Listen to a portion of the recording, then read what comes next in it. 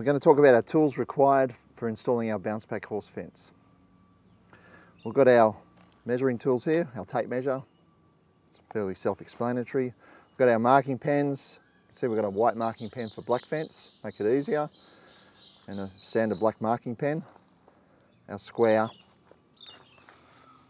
bolt cutters. We'll need those bolt cutters to just snip that wire when we're cutting our fence. We've got our other cutting tools here, our snips, our pliers and our wire strippers. Now the wire strippers are used there to, to score the plastic when we're pulling the sheath away from the wire. We have it here, we've got a, today we've got an electric drill and a drill bit, at least 200 mil long, uh, 12 mil in diameter. Nice sharp wood bit, makes the, the job easier.